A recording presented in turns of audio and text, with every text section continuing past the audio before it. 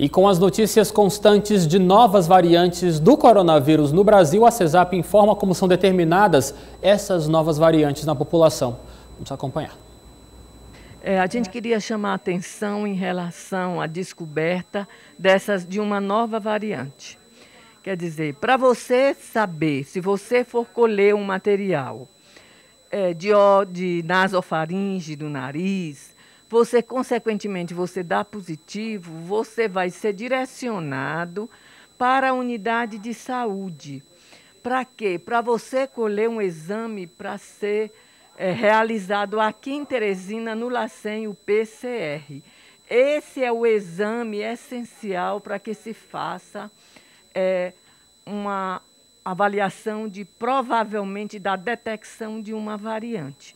Então, assim, estes exames de teste rápido, seja ele anticorpo, seja ele antígeno, aquele, aquele exame que se colhe realmente no nariz, ele não dá para fazer é, realmente o exame de sequenciamento. Você precisa entender que aquele exame é para ver as pessoas que estão positivas, mesmo com as pessoas é, não tendo circulação dessa variante, nós temos que manter o nosso cuidado em relação ao uso de máscara. A mesma coisa, as pessoas vacinadas devem ter o mesmo cuidado com a utilização da máscara, o cuidado com o distanciamento, o cuidado higiênico, higiênico das mãos. Então, o cuidado é redobrado por conta da situação que nós estamos vivendo de ter é, estados vizinhos, circunvizinhos com novas variantes.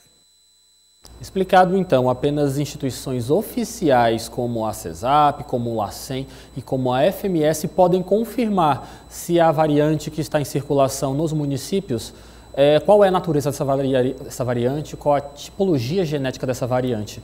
Então, cuidado com as notícias que se espalham por aí dizendo que a variante já chegou ao estado do Piauí. Apenas instituições oficiais é quem podem afirmar isso ou não.